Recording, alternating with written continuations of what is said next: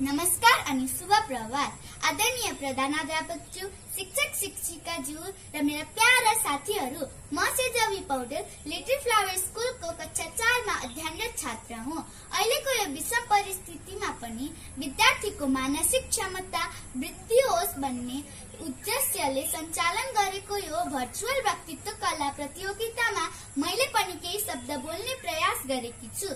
व्यक्तित्व कला प्रतियोगिताको शीर्षक छ समयको महत्व समय एउटा यस्तो चिज हो जुन हाम्रो वशमा हुँदैन। त्यही भएर त यसलाई बगिरहेको नदीसँग तुलना गरिएको छ। जसरी नदीहरू निरन्तर बगिरहन्छ त्यसरी समयहरू पनि बिचमा कहिल्यै अडिँदैन निरन्तर चलिरहन्छ। त्यही भएर हामीले आफ्नो कामहरू समयमै सक्नुपर्छ। यदि भविष्यमा अघि बढ्नु छ र आफ्नो लक्ष्य पूरा गर्नु छ भने हामीले समयको महत्व बुझौ। यदि हामीले आफ्नो लक्ष्य समयमा पूरा गरेनौँ भने हामी पछाडि बढ्न सक्छौ र हाम्रो जीवन अन्धकार हुन्छ।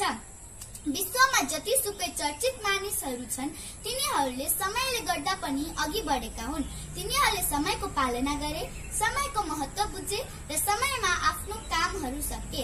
त्यही भएर साथीहरू हो हामीलाई पनि विश्वमा आफ्नो नाम फैलाउनु भने समयको महत्व बुझौ र आफ्नो जीवनलाई सुन्दर बनाऊ। धन्यवाद सुरक्षित रहौ स्वास्थ्य रहौ र कोरोनाबाट बचौ